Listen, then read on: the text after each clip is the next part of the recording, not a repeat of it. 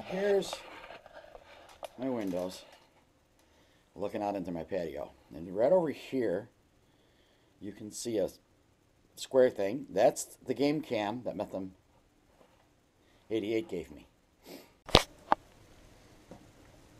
Let's see what the temperature is. The temperature is, according to that, I don't think you can see it, it's 18 degrees outside.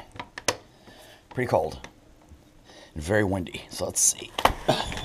Whoa, whoa, whoa. Yeah, it's cold. But here's where, in the distance, and I've shown this on other videos, but there's a little bit of woods over there in the inlet. And from here, you can hear the you can hear the lake.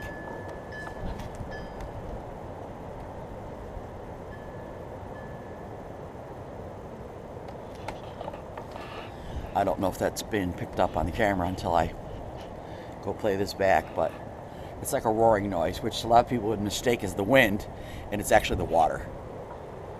But it's, it's uh, pretty windy. Um, not as windy as it was yesterday, I'll say. Oh, there's a good gust. It's cold. but yeah, surprisingly, even though there's people living everywhere, I get deer, raccoons, skunks, possums, fox. I've had a pheasant down here before, uh, coyotes. So, and there was at one time there was even a bear running around down here, um, a black bear. I didn't get to see him, but uh, it was reported that he had uh, he was down here wandering around. All right, I'm gonna close the window because man, it's cold. Baby, it's cold outside.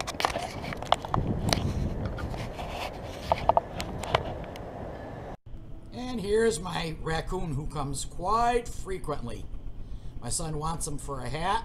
Friend from work just wants to snuggle him. But there he is. This is a an old blanket that my mother made. And I can't tell you how, how long I've had it.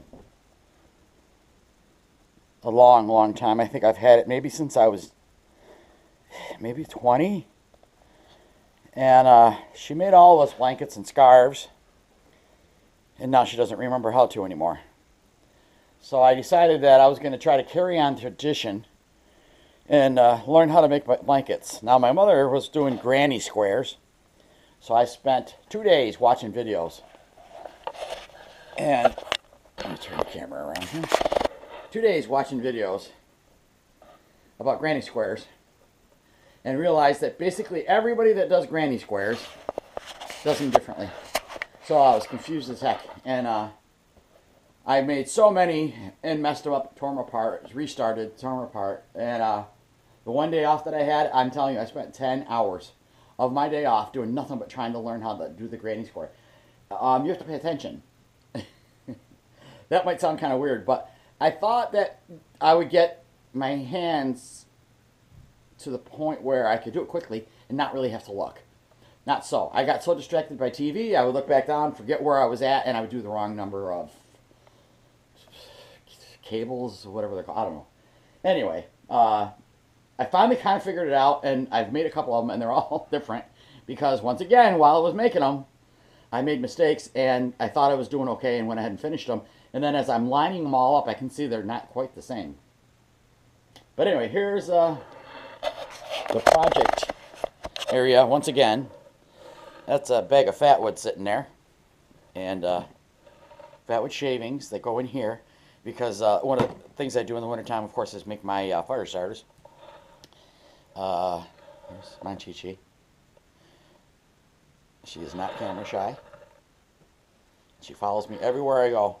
When I'm home on my days off, she can't get enough of me. She const wherever I go, she goes. She's just constantly with me. So here's the the what do I want to call this? Uh, craft emporium where I sit and watch TV and then you know work on my crafts. I've shown this many times before. Okay, so here's the granny squares that I've been working on. They look pretty good, but I mean individually they look pretty good. But then last night when I started said, "Oh, look at this one. This one's really big. How did that happen?" And then, uh, then this one's kind of good sized. They look close, but trust me, when I held them, when I laid them all out next to each other, they're not quite the same. Maybe one's stretched out more than the other. I'm not sure. But I guess the way it goes is, after you get a whole bunch of these, then you crochet them together, you know, and you make a blanket. Um, like for instance, because this is pink, maybe I would crochet them, attach them to each other with white. I, I don't know. But I have a bunch of yarn. See, over there in the corner is my bin. It's got, I don't know, some small little balls that might make a square or two, and then there's a couple bigger balls that might make a square or two. But that I thought that's how I could use it was to crochet these squares. So they're going to be funny looking blankets, I guess, because they won't all match because I don't have all the same yarn. But that's um, that's that project I'm working on. And then I got to work on the drums. So I'll show you how far I've gotten with that. So I managed to get the hide cut up in the circles the way I wanted. And of course, there are several different sizes.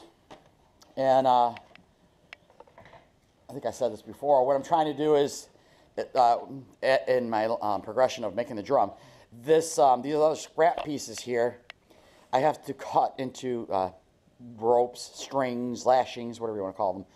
Um, and and then when it's time to fashion it all together again, I'll re-wet this stuff, which will make it rubbery or pliable again, and I'll be able to stretch these over the hoop of wood and tie them with the lashings